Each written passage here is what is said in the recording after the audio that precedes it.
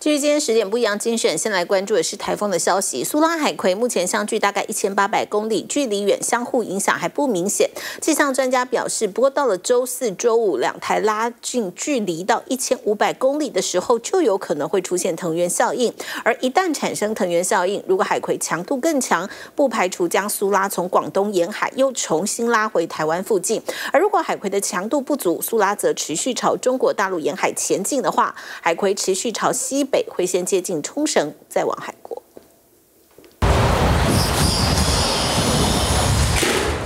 台风来之前，关起穿堂的门，挡水板排排站，再用沙袋固定。台北市大家国小的防台准备马虎不得。因为上次淹到快这里，再再大概是脚，再叠一包上去。原因就是八月十日的一场大雨，大家国小淹大水。透过校门监视器画面回顾，一波一波的水灌进校园，不久之后淹成一道河流。高工局的那个排水管做得非常好，可是它下来了，就是刚好在我学校的门口。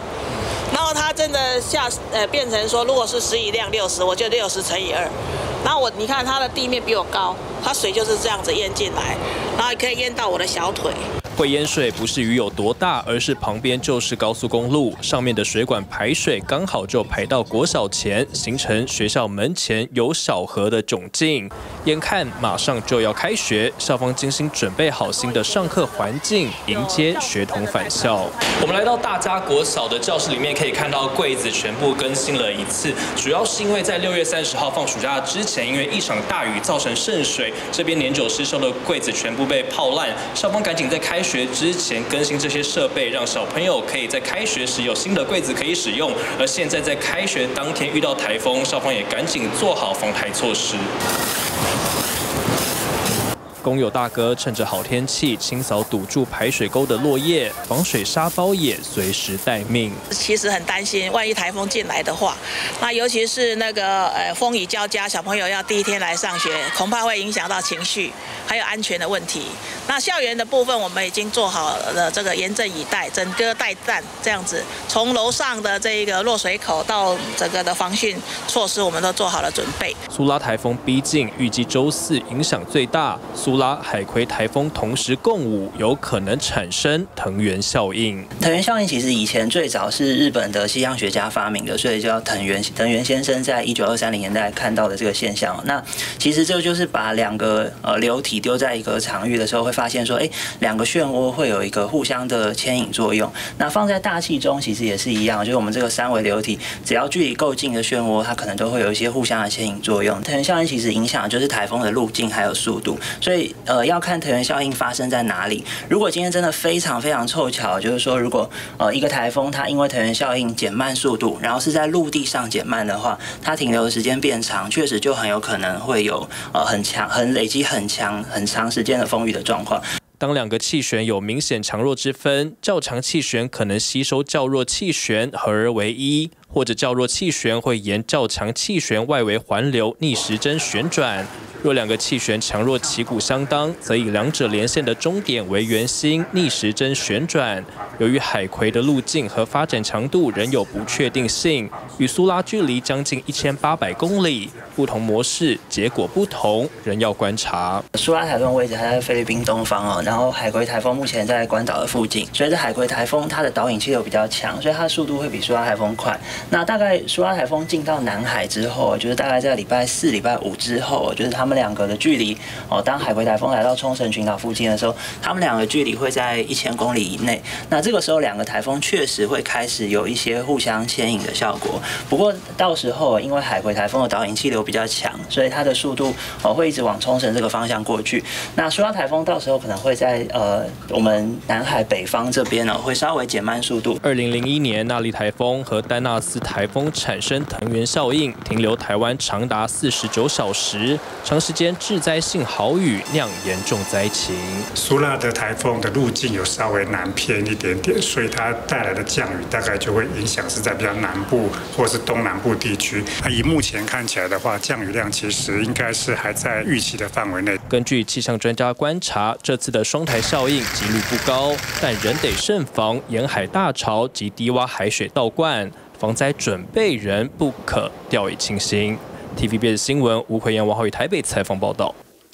说到大潮，就来看年度天文大潮来了，而且呢，这时间点很刚好跟来势汹汹的苏拉台风碰到。气象局就特别提醒了，三十号到九月三号这几天，新北到北台南，还有澎湖沿海低洼地区，都要特别注意海水倒灌、局部淹水的现象。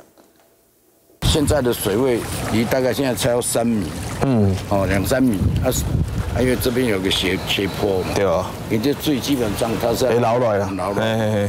啊，捞来，但是你饮水的时候，你无法捞出去。对。顶着烈日大太阳，穿着背心在淡水沿岸来回巡视，包括了海水高度、排水跟挡水作业，任何细节都不能放过，就是因为风雨要来了。像现在台风的话，应该是台风前或台风后，就是。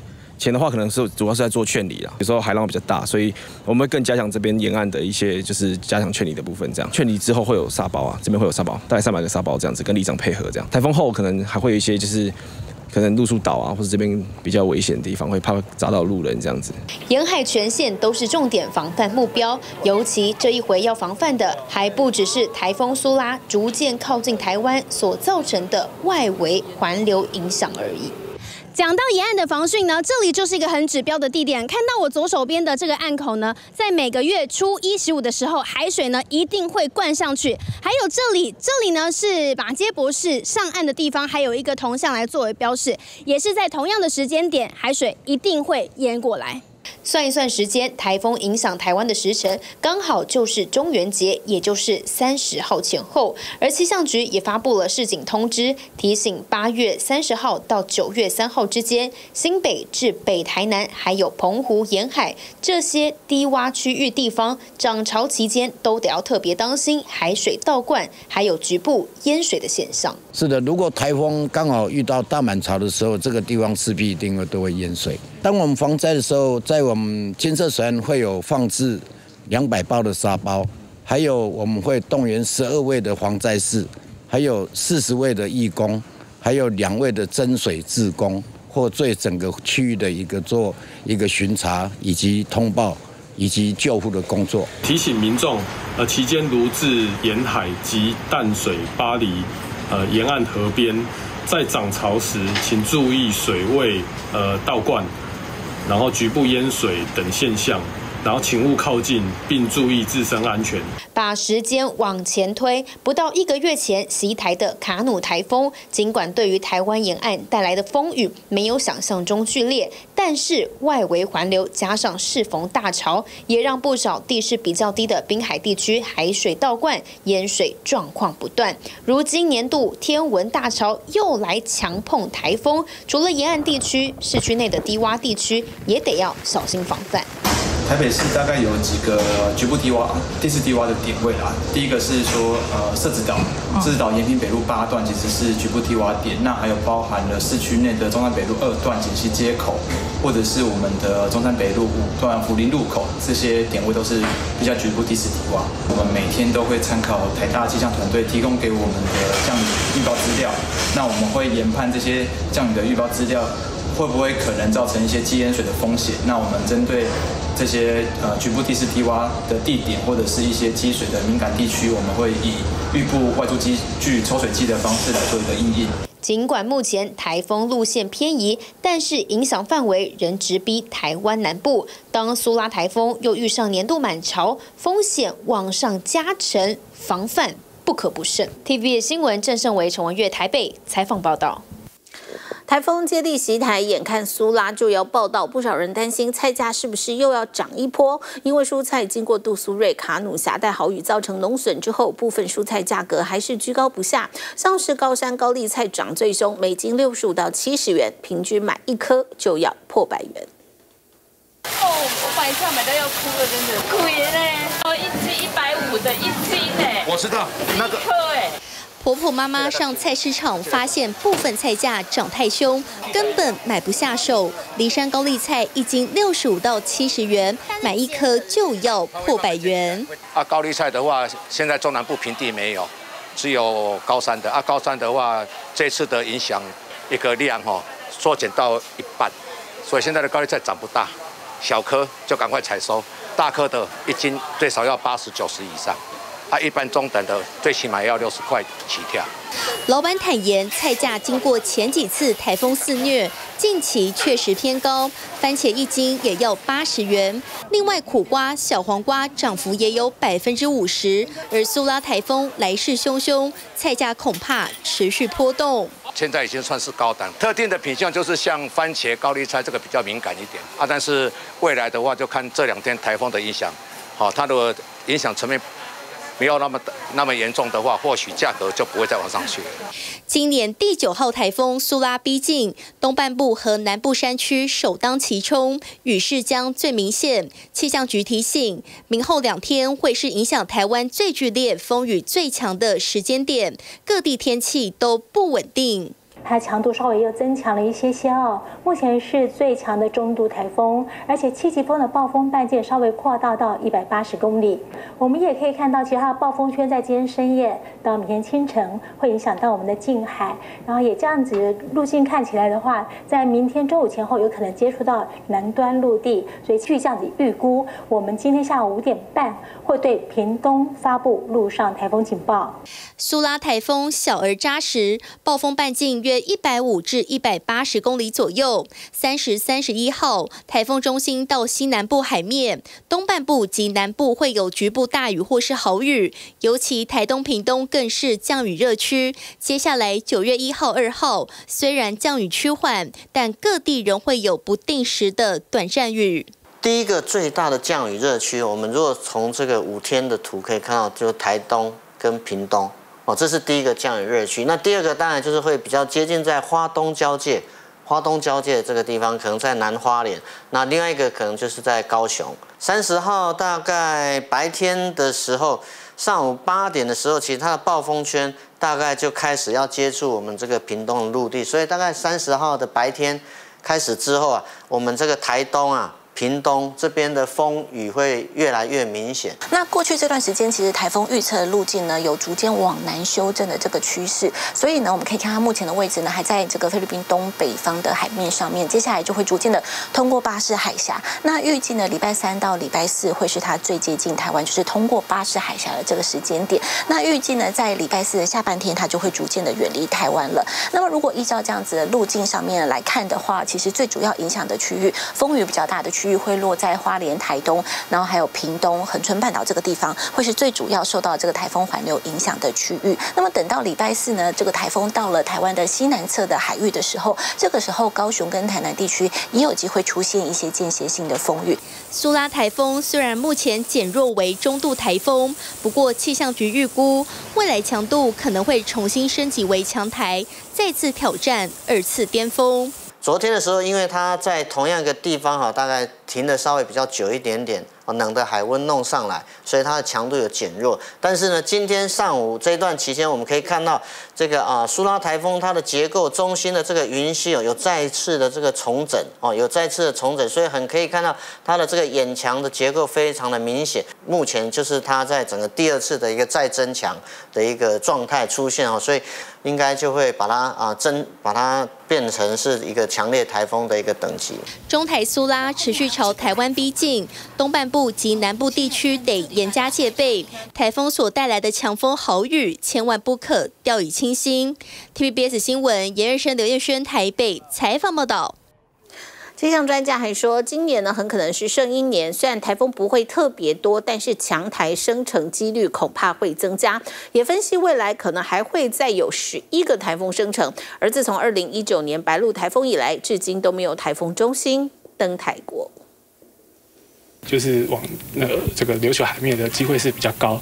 讲述的台风路径分析每一种可能，画面上是两个台风，距离台湾非常靠近，分别是苏拉跟海葵，更上面还有一个丹瑞台风。台风的走向动态都得多加留意。理论上来说，在过去的圣一年算起来的话，其实因为圣一年它这个海温是也是比较偏高的情况，所以而且呢，这个台风形成位置呢可能会比较偏东哦，有台就是在海面上待的时间会比较长，所以其实台风理论上来讲是的确是比较容易会发发展到就是中度台风或者是强烈台风的等级的。截止到八月二十一号为止，今年一共出现八个台风，暂时低于平均值十二点二个。但目前预测都显示今年有剩一年的趋势，台风属于偏多偏强，国际气象单位预测，今年西北太平洋将会有二十九个台风。专家也分析，未来秋台的几率也将大幅提升。就今年整整个全年的话，西北太平洋可能会有二十九个台风形成。那目前大概就在还有十一个嘛，所以所以形成十一个，所以未来来说的话，可能都还有十几个台风会在我们西北太阳太平洋这边形成。那么当然了，因为十几个台风嘛，那这些都在台台湾的这个呃周遭海域，那也不排除说未来还是有台风会侵袭台湾的机会，都还是有的。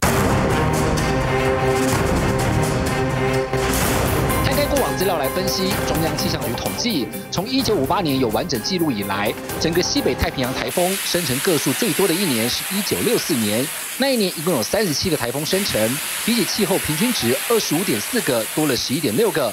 然而最少的一年是二零一零年，只有十四个台风生成，比气候平均值少了十一点四个。今年的台风目前看起来在正常范围内，但要小心，在深一年的趋势之下，强台生成几率恐怕会提升。像海葵的话，目前看起来。它从从台湾东方东北方海面通过的话，也许它的这个外环流当然有可能对我们北部的山区带来一些降雨的状况。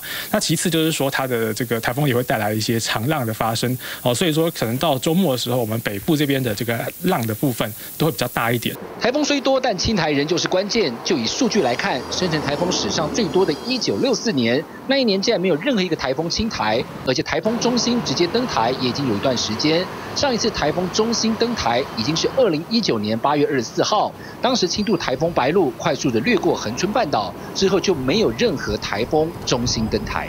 依据这个台风警报所规划的这个停班停课这样的一个依据，跟实际上的灾害的损失是有差距的，所以民众对于这种呃致灾性的降雨所造成的这样的一个影响，那务必要提高警觉哈，不能因为不在台风的警戒范围之内而掉以轻心。国外研究指出，台风的频率虽然在下降，但并不意味台风的威胁开始减少，事实上威胁可能更加强烈。科学家们相信，人为造成的气候变化正导致气候条件变得更加罕见。当达到临界点的时候，台风威力往往特别强大。由于气候变迁的关系，造成我们以前熟知的环境都有了显著的改变。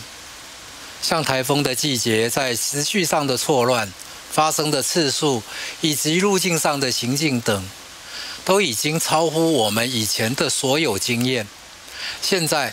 台风经过的县市未必是最危险的地方，其他县市也可能因为西南气流或是东北季风的共伴效应等，虽然不在台风路径上，却有相对高的风险威胁。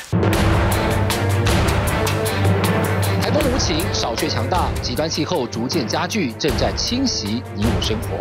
TBS 新闻李华来明台北采访报道。想看最完整的新闻内容，记得下载 TVBS 新闻网 APP。